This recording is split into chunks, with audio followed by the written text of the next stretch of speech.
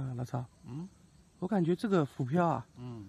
如果背景不是很干净啊，嗯。像像那个的话，这里竹子嗯。有空的有暗的，有亮有亮的有暗的，嗯，像这个浮漂就看不清楚啊，是吧？我感觉看不看不太清楚啊。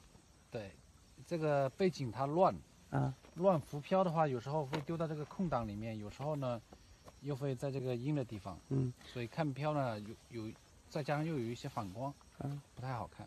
我感觉如果说是纯亮的或者纯暗的倒也还好，对，就怕这种亮暗交割的地方哈，嗯。所以说很难看漂。其实对于阴天漂的，呃，就对于阴天使用的话，就是说像这种有倒影的地方啊，嗯，就是有一种就是专门针对阴天这个浮漂漂尾颜色啊，嗯，就是，呃，现在市面上看的比较少的，我这个是电子标，啊，其实它就是一个整个纯绿的，对，整个就是一个绿色的，嗯，然后它的每一目呃这个中间的间隔呢，也相对来说也会宽一点，嗯，这样看上去就是比较醒目。嗯。啊，但是就是说它你我们在做钓的时候，你如果钓高木的时候，或者说再远一点的情况下，嗯，中间的这个黑线呢就看不太出来了，啊，就你就会出现一个，呃，做钓的时候一个错觉，就是有时候下去一目两目你都看不清楚，嗯，出现这样一个情况。那如果钓两目会不会好一点？呃钓一目或者两目，对，钓个一目两目的话，这样你就会好很多，嗯就比较清晰一点，就是不要钓的太高啊。啊，这种浮漂。那么你说像这种是适合阴天，对阴天，就光线不不太好的时候，对光线不好，包括就是树呃水里面有倒影的这种情况，嗯啊，我们都可以使用这种阴天漂。啊，那么现在市面上呢，就是出现了两种，呃，比较常见的漂尾的颜色的浮漂。嗯，那么它就是一个红绿相间的，啊，啊，看出这个是有点橙色跟黄。色啊。，对，橙黄。应该说这个橙橙黄，这个是嫩绿，对。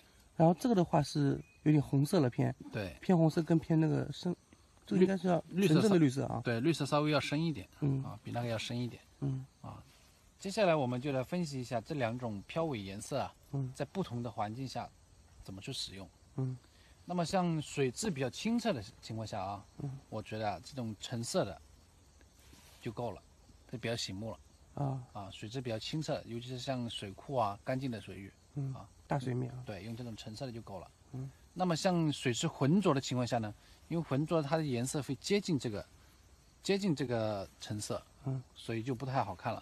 啊那么我们就是要选择这种，呃，绿红绿相相间的，啊红绿尾的。对，红绿尾的。嗯这种呢就会比较醒目一点。嗯，啊，这个是水质颜色。嗯，第二个呢就是这个阳光啊，就是就是我们所说的晴天跟阴天了。嗯啊阳光比较强烈的情况下，其实如果说你这个用这个橙色的啊，嗯，你对着太阳钓的话，这个阳光照过来的话也看不太清楚。会通透啊，对它那个透光性比较好。对，整个就看上去就是，呃，好像似乎隐的已经隐形到这个阳光里面去了。啊啊，看不太清楚啊啊，就是对着太阳太阳掉，晴天对着太阳掉的时候，嗯，还是要选这个，呃，这个红色的。嗯啊那么背着太阳呢，相对来说就会好一点。嗯啊那么看这个橙橙黄色的就够了。嗯啊这个是太阳大。那么阴天呢？阴天咱们使用的呢，就是说相对来说它的光线会暗一点。嗯，会暗一点的情况下呢，那我们可以选择这个红绿的。嗯红绿的它这个两个颜色对撞会比较醒目一点。啊，啊，这个是阴天，阴天用红绿色的。我感觉啊，嗯好像似乎我就见到的那个颜色的话，嗯像橙色的啊，嗯橙黄尾的话，钓大鱼的那个漂上会比较多。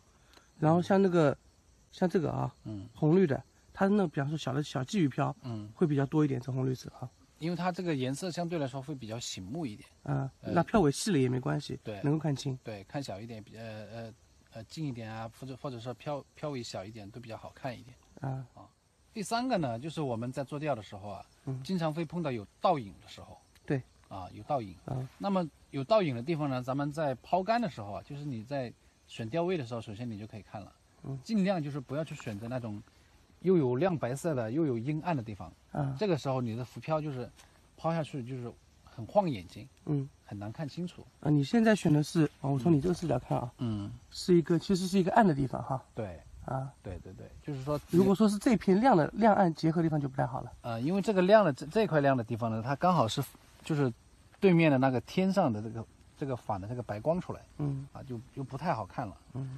啊。那么在阴呃阴暗的地方，就是说有树荫的地方，咱们选择还是这种呃绿色、红色，嗯，它相对来说呢，它的对撞颜色，两个颜色对撞也还是比较醒目一点。好，我们看一下啊，感觉一下举增高。背景如果说是那个黑色的地方的话，嗯的确啊，感觉红红绿尾的感觉更清晰一些啊。嗯，亮的地方的话，感觉都差不多，两个差不多。对。嗯呃，第四个呢，就是咱们在做钓的时候，有时候会有风浪，有波浪嗯啊。那就是说，咱们在选择的时候呢，我觉得还是这种绿色跟这种红色的会好一点啊，因为它这个橙黄色的呢，它两个颜色比较接近，啊，有时候你下了个一目半目的，你看得不太清楚啊。我感觉其实嗯如果大波浪倒还好一点，哎、就怕那种那个小风啊，把那个水面上吹起一层层皱褶那种地方，对，那个是最最难看的时候然。后就是说，它那个波光粼粼的，它还会反反着反射这个天上的这个白色嗯啊，然后就更看不清楚了。嗯所以我觉得还是这种相对来说比较醒目一点的嗯会好一点。啊，嗯，那这样吧，大家买的时候，如果购买浮漂的时候，其实嗯。两种颜色到时候可以多多备一点哈。对，就是说咱们在买浮漂的时候呢，就是说不要单独的去买一个颜色，嗯。你可以买一个绿色啊，啊或者买一个橙黄色啊，嗯。这样来挑选，就是你应对不同的水质、不同的天气嗯。啊，包括、呃不同的环境，嗯。啊，就是另外就是这个浮漂啊，关于这个浮漂的漂型的选择啊，嗯。啊，在我的微信公众号里面呢有相关的视频，大家想要了解的话，可以添加关注我的微信公众号“怪老曹”，漂型可能更重要一些哈。对，可以看一下这个浮漂的漂型呢，就是我们在选择的时候也是很关键，它关系到你的饵料的雾化时间，还有这个行程啊等等方面的问题。翻身时间，对对。